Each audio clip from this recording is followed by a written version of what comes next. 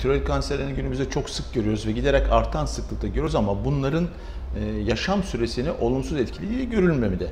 Ancak bazı tipleri örneğin medüller tip kanserler veya anaplastik dediğimiz bazı formları gerçekten yaşam süresini olumsuz etkileyebiliyor. Bir de tiroid kanserleri içerisinde eğer çap arttıkça veya lenf bezi metastazı veya patolojik olarak bir takım kriterler vardır. Örneğin yumuşak doku invazyonları gibi.